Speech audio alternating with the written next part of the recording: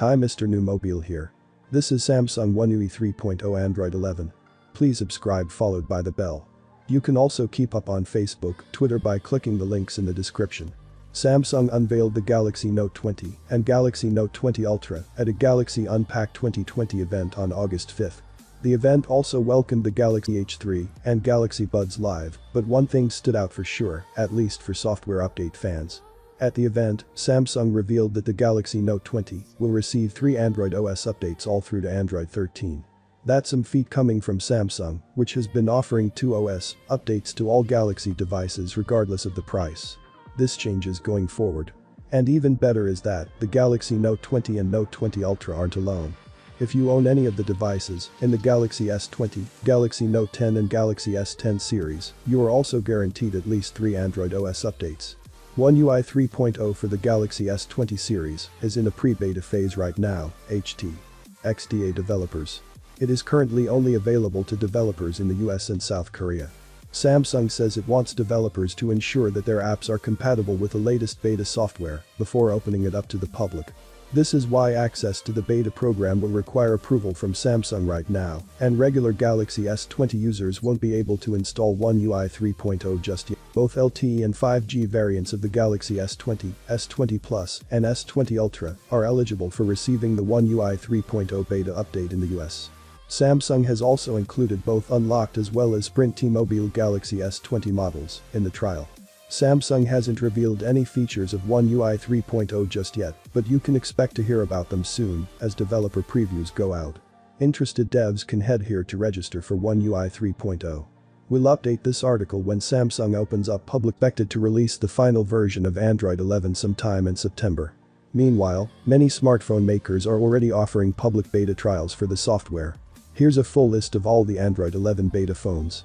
Google is focusing on enabling users to better take advantage of the latest innovations with Android 11 while also emphasizing privacy and security. There will also be enhancements for 5G, support for new screen types that utilize pinhole and waterfall design elements, machine learning enhancements and more. New permission options are among the best Android 11 features. Users will be able to grant apps temporary access to sensitive data like microphone and camera with a one-time permission. The app will not be able to access that data once the user moves away from it. Android 11 is going to simplify conversations with a dedicated conversation section in the notification shade. Bubbles will be used to keep conversations in view while multitasking on the phone.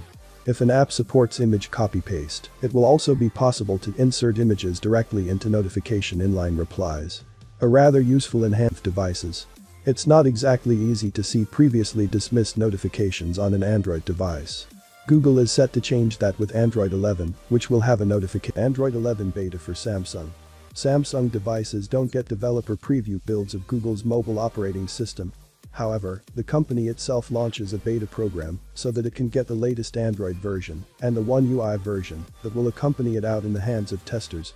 However, it will take some time before such a program is launched for context, Samsung launched the Android 10 and One UI 2.0 beta in October last year, about a month after Google had released a stable Android 10 firmware for its Pixel smartphones. Which Samsung devices will get Android 11. Samsung releases dozens of smartphones every year for every price segment of the market. Providing software support for all of these phones is no simple task. The company does guarantee two major OS upgrades for all of its smartphones. This means that any Samsung phone that shipped with Android 9.0 and Android 10 will be eligible for Android 11. Samsung's 3-year security update guarantee remains. The company continues to release security updates for devices even when they have received their two major OS updates early and monthly release schedules. Samsung also releases security updates for devices older than 3 years as and when required. It will continue to do so after Android 11 arrives as well. Please subscribe, like the video, comment thanks for watching see you on my next video one piece